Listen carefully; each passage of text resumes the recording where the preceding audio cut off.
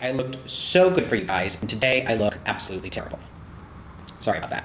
Um, what's going on? Uh, tomorrow I leave for Fort Lauderdale. I'm performing in a show there on the weekend at the War Memorial Theater. So that should be a lot of fun. Uh, I won't be bringing the camera with me only because I don't have somebody to operate it while I'm performing.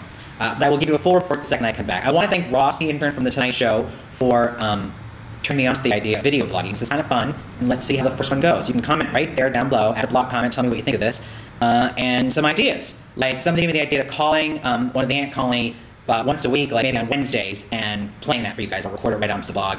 Uh, here I am in this People magazine. I talked about that, by the way, page 151. Tiny little picture. But I'm in People magazine. And um, there's nobody here. I have no cats, no dogs, no partner.